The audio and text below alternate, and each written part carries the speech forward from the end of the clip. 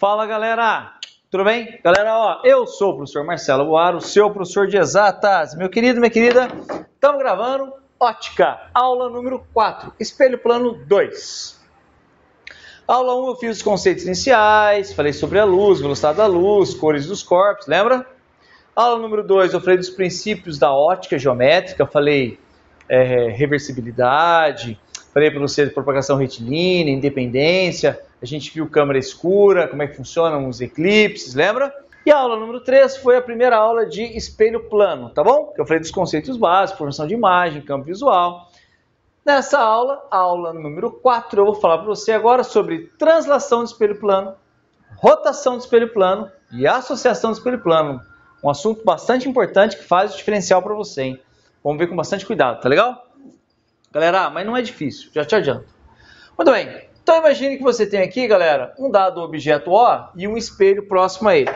Como eu disse a vocês bastante na aula passada, a imagem gerada por um espelho plano, ela é sempre do mesmo tamanho que o objeto e está sempre à mesma distância que o objeto está do espelho, lembra? Peguemos um objeto real, um objeto comum qualquer aqui real, colocado próximo do espelho, a imagem gerada aqui atrás, ó, terá sempre o mesmo tamanho estará à mesma distância, tá certo? Então, ó, aqui na minha lousa quadriculada que você não consegue ver em detalhes daí, mas é 1, 2, 3, 4 quadradinhos, 1, 2, 3, 4 quadradinhos aqui, tá certo? Objeto, imagem.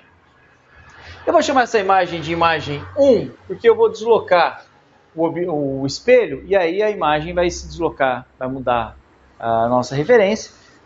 E aí eu vou chamar de imagem 2 para você ver o que acontece. Galera, então, na minha situação inicial, o espelho estava a 4 do objeto, 4 metros, por exemplo. A imagem estará aqui atrás também a 4 metros.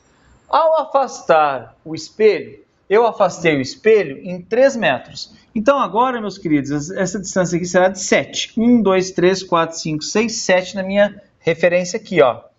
Tá bom? 7. Vou chamar de metros aqui, só para que você visualize melhor. Então, imagine um espelho que estava a 4 metros de distância do objeto. A imagem está lá atrás a 4 metros também. Ao afastar um pouco o espelho, passando para 7 metros, a imagem aqui atrás, 1, 2, 3, 4, 5, 6, 7 metros também.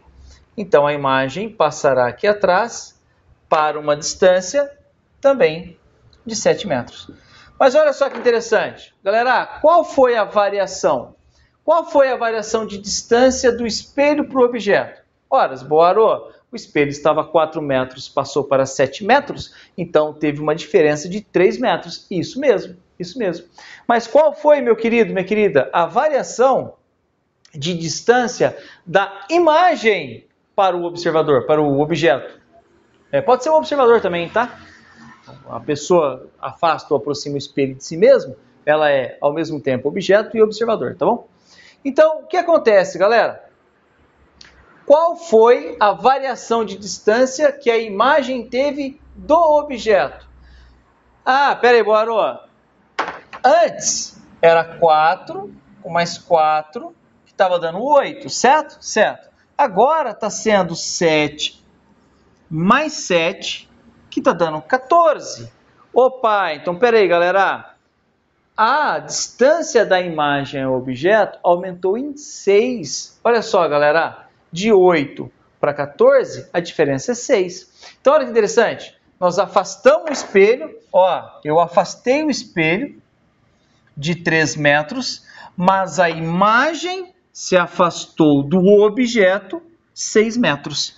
Ah, então, ó, lembre-se disso, galera. Eu vou chamar de desão a distância entre a imagem e o objeto, e eu vou chamar de desenho o, o quanto, ah, vou chamar de desão o quanto é, se desloca a imagem em relação ao objeto. Eu vou chamar de desenho do quanto a gente deslocou o espelho. Então, note que desão vale duas vezes desenho, tá? Guarde isso, galera. O deslocamento da imagem em relação ao observador é duas vezes ah, o deslocamento do espelho.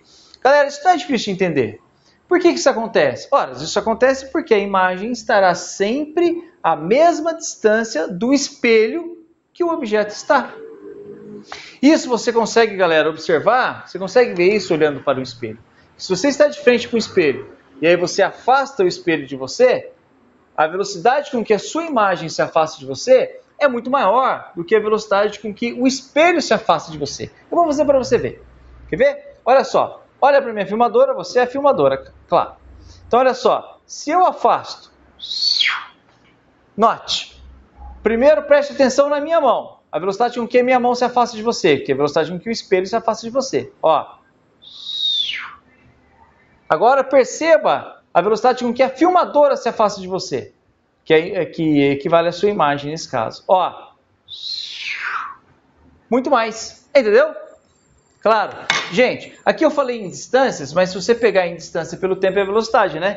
Então, a velocidade com que a imagem se afasta do objeto é o dobro da velocidade com que o espelho se afasta do objeto. Entendeu? Entendeu? Viu aqui como é que está arrumada a sala pelo reflexo no espelho? Desmontamos tudo, colocamos tudo no canto. Aproveitei que não tem ninguém aqui para poder filmar para você. Ter mais silêncio, senão não dá não. Galera, vamos lá. Translação de espelho é isso. Super sussa. Rotação de espelho. Boa, que, que história que é essa, galera? Então agora eu vou pegar um espelho e vou girar. Eu fiz um espelho bem grandão para que você consiga visualizar o que está acontecendo. Então, ó, eu tenho aqui um espelho e eu joguei um raio de luz. Esse raio de luz incidiu aqui, ó, e foi para lá, beleza? Bom, aí o que eu vou fazer agora, galera? Eu vou girar esse espelho. Mas antes, ó, meu, lembra de dar um joinha nos vídeos. Dá um joinha nos vídeos, inscreva-se no canal. Compartilhe esses vídeos, cara. Dá a força que você puder dar pro projeto do Boara, que levar ensino totalmente grátis, de alta qualidade, exatos para todo mundo, falou? Dá uma ajuda aí para mim. Ó, galera, então eu vou fazer o seguinte, eu vou fazer isso aqui com o espelho, ó. Eu vou girar, eu vou rotacionar, eu vou girar o espelho. O que, que vai acontecer, galera? Então eu vou fazer o seguinte, eu vou pegar esse espelho e vou girar aqui o espelho de um ângulo uh, que eu vou chamar de alfa. Note, eu vou girar o espelho, gente, mas não muito, a ponto do raio de luz não atingir mais o espelho, não. Eu quero que o raio de luz ainda continue atingindo o espelho. Porque eu quero saber o quanto esse raio de luz vai desviar quando eu girar esse espelho. Se eu girar o espelho de um ângulo de 10 graus, Quantos graus esse raio vai desviar? Porque ele vai desviar, né, gente? Se eu girar esse espelho de um ângulo de 30 graus, quanto que ele vai variar? Então, ó, esse ângulo aqui, ó, é o ângulo alfa, meus queridos. É o ângulo que eu girei o espelho, beleza? Esse ângulo foi o ângulo que eu girei o espelho. Agora o raio de luz, galera, não vai mais bater aqui e ir para lá, né? Claro que não. Por quê? Porque o espelho não está mais aqui. O espelho está aqui embaixo agora, então ele vai, o raio vai bater lá na frente, ó. Então agora eu vou continuar o raio de luz que ele vai atingir, ó, lá embaixo, beleza? Galera, continua valendo a lei da reflexão, claro. O ângulo com que ele tem de incidência aqui, ó, vai ter que ser o mesmo ângulo de reflexão. Então esse raio de luz chega aqui e aí ele sai para lá, ó. Certo? Eu vou apagar isso aqui, só para o desenho não ficar muito carregado. Eu vou destacar o que eu quero. Gente, claro que o raio de luz não está refletindo nos dois lugares ao mesmo tempo, porque o espelho não está mais aqui. Só que eu quero saber, gente, ah, nesse momento, eu quero saber o seguinte: o quanto esse raio de luz vai desviar?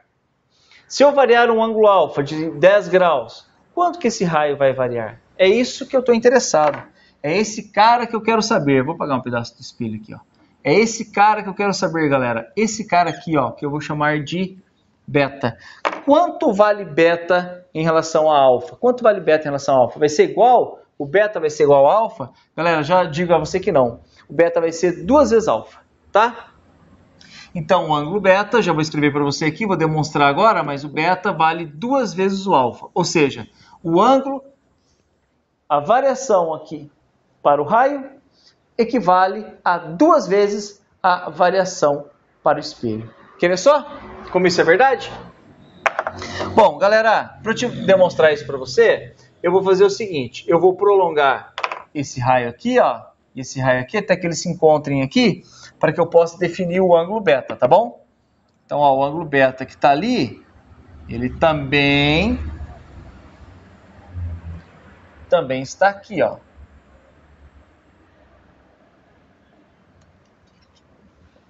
Galera, então, ó, aqui está o beta, tá bom? O beta. Muito bem, então aqui agora eu vou fazer esse ângulo, eu vou chamar de I1, que é da reflexão 1. Esse cara aqui vai valer I1 também. Aqui agora eu vou fazer o I2 e aqui é o I2 também. Gente, note, alfa, quanto que vai valer alfa? Olha só, eu sei que alfa, a soma dos ângulos internos de um triângulo tem que dar 180, lembra? Então, alfa mais esse ângulo aqui, ó, mais esse ângulo inteiro aqui, ó, vai ter que ser igual a 180, certo? Bom, então vamos com cuidado. Espera aí, deixa eu só escrever o beta mais para cima aqui um pouquinho, só para não atrapalhar o cálculo. Beta. Então, olha só, galera. Então, alfa mais quem é esse cara? Eu sei que esse cara mais o I2 é 90. Então, esse cara é 90 menos o I2, né? 90 menos o I2. Mais. Mais isso aqui tudo, que é 90. Quem que é esse carinha aqui, galera? Ó, OPV, oposto pelo vértice. Esse cara aqui é o I2. Perdão, o I1. Então, ficou assim, ó. Alfa mais 90 menos I2, mais 90, que isso aqui tudo é 90, mais o I1 é igual a 180. Alfa vai ficar mais 90 menos I2 mais I1 mais 180, mais 90 aqui de novo, né? Ó, só abrir o parênteses é igual a 180. Galera, 90 com 90 é 180. Passa esse cara pro lado de lá, 180, 180 menos 180 é zero. Então, alfa vai ser igual, olha só que interessante. Alfa vai ser igual a I2 menos I1, certo? 90 com 90 passei para lá, cancelou com 180. Ficou menos I2, eu passei para lá, ficou positivo. Mais I1, passei para lá, ficou negativo. Então, alfa é igual a I2 menos I1. E agora eu vou mostrar para você que o beta vai dar o dobro disso. Quer ver só? Então vou marcar, guardar essa informação aqui, ó. Alfa é igual a I2 menos I1. Ok? Então vamos lá, vou apagar isso aqui para poder demonstrar quanto que vale beta, beleza? Beta mais isso aqui tudo, mais isso aqui tudo, tem que dar 180. Ah, mas espera aí, espera aí. Isso aqui, galera, é o I1. Isso aqui também é o I1. Olha só que interessante. Se esse cara aqui é o I2, esse cara aqui é o 90 menos I2. Só que esse cara aqui também é 90 menos I2. Por quê? Porque esse cara aqui de baixo também é o I2. Então, olha que interessante. Nesse triângulo aqui, você vê que beta mais I1 com I1, 2 I1, mais, vou escrever um pouquinho para baixo. Ó, beta mais 2 e 1. Aqui, mais duas vezes 90 menos e 2 é igual a 180. Não é? A soma dos ângulos internos dá 180. Ah, então peraí, então peraí. Então beta mais 2 e 1 mais 180 menos 2 e 2 é igual a 180. Espera aí, 180 com 180 você cancela. Ah, então, passa esses dois caras para o lado de lá, vai ficar assim, ó, beta vai ser igual a 2 e 2 menos 2 e 1, ou seja, duas vezes e 2 menos e 1 ah, mas peraí, I2 menos I1 é o alfa. Então, realmente, o beta vale duas vezes alfa. Entendeu? Como eu ia demonstrar para você. Tudo bem, meus queridos? Tudo bem? Ah, de maneira geral, os caras não cobram de você essa demonstração. Para demonstrar só porque você sabe que faz coisas completinhas para você. De maneira geral, se você souber apenas que se eu variar um ângulo de alfa, o raio varia um ângulo de 2 alfa, tá valendo. Tá bom? E aqui a distância de deslocamento é o dobro também. Agora eu vou falar para você de associação de espelhos, galera. Formação de imagem, número de imagens a partir de associação de espelho. Vamos lá? Galera, por fim, associação de espelhos planos. Eu vou pegar um caso particular aqui para mostrar, depois eu vou mostrar um exemplo para você uh, ver como é que funciona isso daí. Uh, você já reparou que quando você coloca dois espelhos próximos, galera, e um objeto entre eles, você vai ter a geração de várias imagens? E o número de imagens geradas vai depender do que? Vai depender desse ângulo de abertura que você colocou esses espelhos. Você já reparou isso? Ah, tanto que quando você vai, por exemplo, a provadores de loja, sabe aqueles provadores de loja que tem um em frente ao outro assim? E aí você tem um espelho plano, um de frente para o outro, que você vê infinitas imagens. Daqui a pouquinho eu mostro uma imagem para você sobre isso. Você olha assim, ó, você vê infinitas imagens suas. Né? Por quê? Porque o número de imagens que serão geradas por dois espelhos vai depender do ângulo entre esses espelhos. Eu peguei um caso particular aqui, que é o caso em que os dois espelhos são 90 graus entre si, porque é o caso mais importante, galera, é o caso que mais aparece para vocês. Como é que você pensa isso aqui, galera? Muito simples.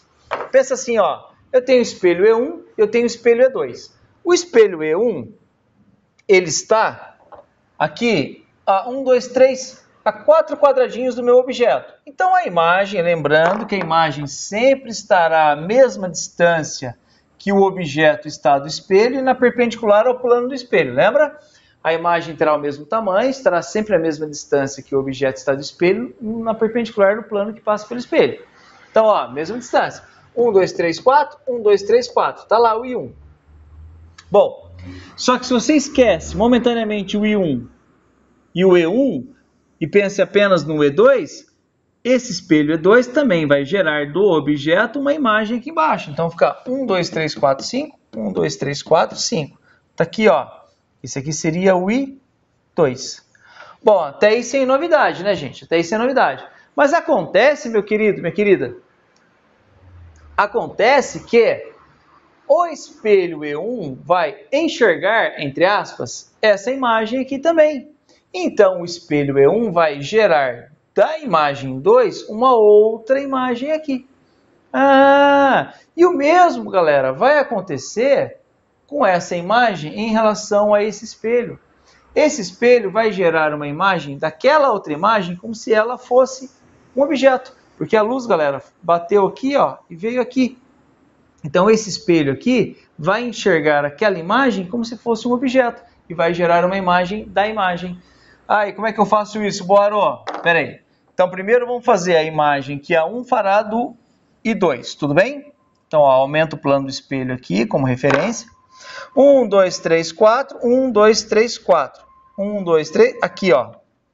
Então, aqui, galera, estaria o I2 linha. É a imagem do 2 aqui atrás. Então, essa é a imagem que o 1, né? O espelho 1 fará da imagem 2. Agora, vamos esquecer, galera, uh, o espelho 1. Vamos pensar apenas no espelho 2 e na imagem 1. Então eu venho aqui, faço, prolongo o plano do espelho, pego essa imagem como se fosse um objeto e gero a imagem da imagem. Então ficará 1, 2, 3, 4, 5. 1, 2, 3, 4, 5, galera. Ah, acontece, galera, que esse caso é particular é muito importante, eles acertam no mesmo ponto. Olha que interessante. Então, o I1 linha e o I2 linha estão juntos, estão no mesmo ponto. Então, se tem um observador aqui, galera, se tem uma pessoa observando aqui, quando você olhar, você vai ver um objeto e três imagens. Você vai ver um objeto e três imagens. Galera, sempre que a reflexão for apenas um espelho, se você levanta a sua mão direita, a sua imagem levanta a mão esquerda. Lembra? Lembra que a gente discutiu isso? Então, essa imagem é dita enantiomorfa, ou seja, ela tem a forma invertida em relação ao objeto. Essa imagem também tem a forma invertida em relação ao objeto. Só que essa imagem aqui não. Essa imagem, galera, ela é igual ao objeto. Por quê? Porque ela foi revertida duas vezes. Ela foi revertida para cá e depois ela foi revertida de novo. Interessante isso. Se você nunca viu isso, galera, qualquer dia que você for em algum shopping center que tiver um banheiro com dois espelhos assim no canto, você já viu isso aí. Quase todo mundo, sempre que eu estou em aula falando, todo mundo lembra, ah, eu já vi. Você está aqui de frente, você olha aqui tem um espelho.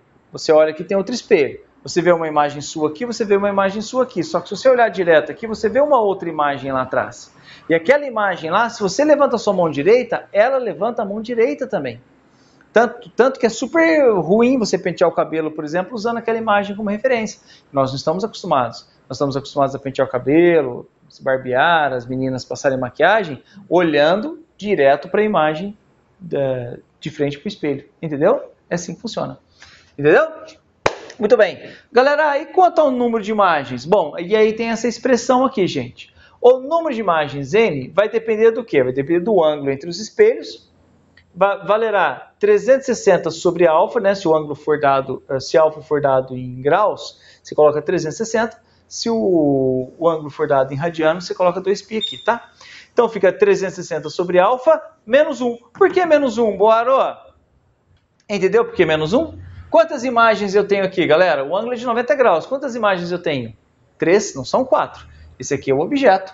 Eu tenho três imagens. Então, olha só. Para um ângulo de 90 graus, vamos ver se está coerente? Para um ângulo de 90 graus, quanto que é 360 sobre 90, galera? Dá 4, né? 360 sobre 90 é 4. 4 menos 1, 3. 3 imagens. Olha lá, está coerente, né? Por quê? Porque no final, uma cai sobre a outra aqui. Entendeu? Ó, isso aqui, galera, tem uma restrição que é a seguinte. Se, essa fórmula vale se 360 graus sobre alfa for um número par, então o objeto pode estar em qualquer posição, como eu fiz aqui para vocês. O objeto pode estar em qualquer posição. Mas, ao fazer a conta, 360 sobre alfa der um número ímpar, então o objeto ele não pode estar em, em qualquer posição. Ele vai ter que estar, galera, necessariamente nessa linha aqui, né, chamado plano bissetor, vai ter que estar tá aqui, galera, de maneira que ele vai estar à mesma distância do espelho 1 e do espelho 2 sempre, vai ter que estar tá equidistante do espelho 1 e 2, tá bom? Se você fizer a conta, 360 sobre alfa, der um número ímpar. Mas eu já adianto a vocês, na grande maioria dos casos, na grande maioria dos casos, dá, dá um número par para facilitar a sua vida e dá tudo certo, você pode deixar o objeto em qualquer posição. Tá bom? Bom, então vou mostrar duas situações para você, ó. Então, galera, ó, dois espelhos, 90 graus entre eles. Você tem aqui as três imagens, né? O objeto mais três imagens. Se você diminuir o ângulo, conforme você vai diminuindo o ângulo, ó, o que vai acontecendo? Vai aumentando o número de imagens que você encontra. Entendeu? Associação de espelhos. Olha galera, ó, situação com infinitas imagens. Tá vendo, ó? Se deixar os dois espelhos paralelos, vai gerar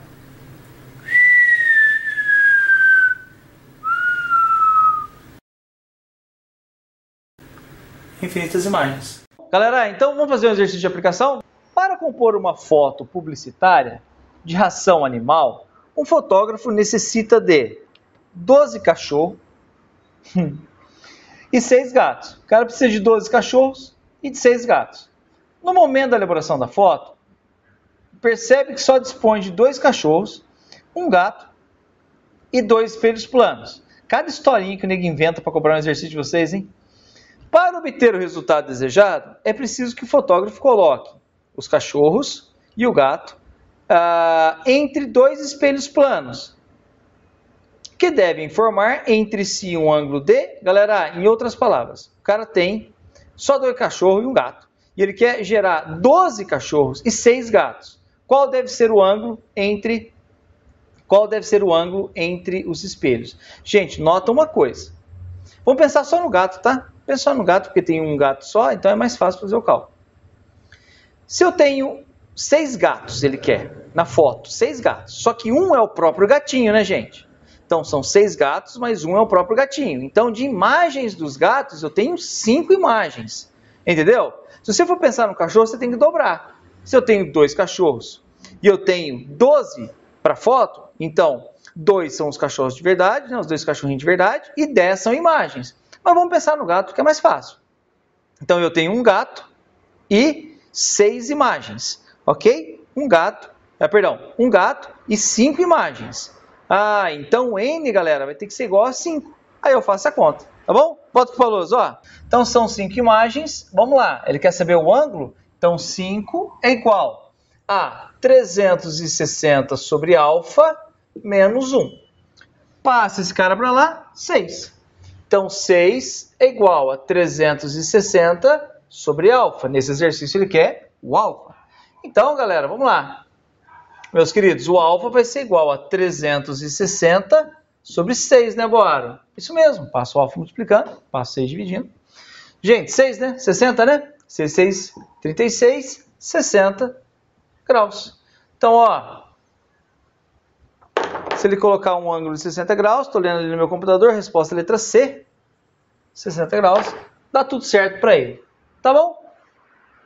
Galera, então é isso. Ah, todo final de vídeo eu deixo para você um link aqui para você ir para os exercícios dessa matéria. Deixa aqui experimentos. Essa parte da matéria tem muitos experimentos para gravar, muitos mesmo de ótica, tá?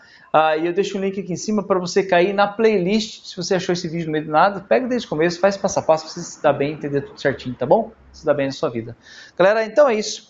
Muito obrigado, muito obrigado. Tudo para você. Fica com Deus e até mais. Valeu!